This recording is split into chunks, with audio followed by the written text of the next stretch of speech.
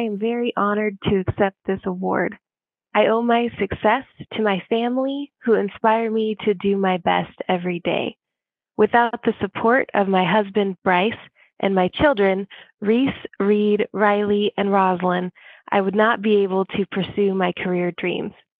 I would also like to express my gratitude to my friends and colleagues at the Washington State University College of Pharmacy and Pharmaceutical Sciences, my faculty peers, mentors, staff, administration, and student pharmacists make going to work every day a fun new adventure. Finally, I would like to thank the American Pharmacists Association and the efforts of this organization to advance pharmacy practice.